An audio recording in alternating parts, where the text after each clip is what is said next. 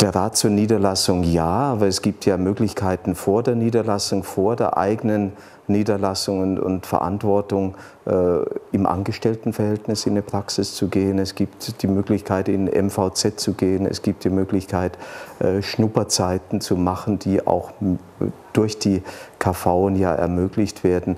Also man kann einiges an Erfahrungen sammeln, bevor man sich endgültig entscheidet.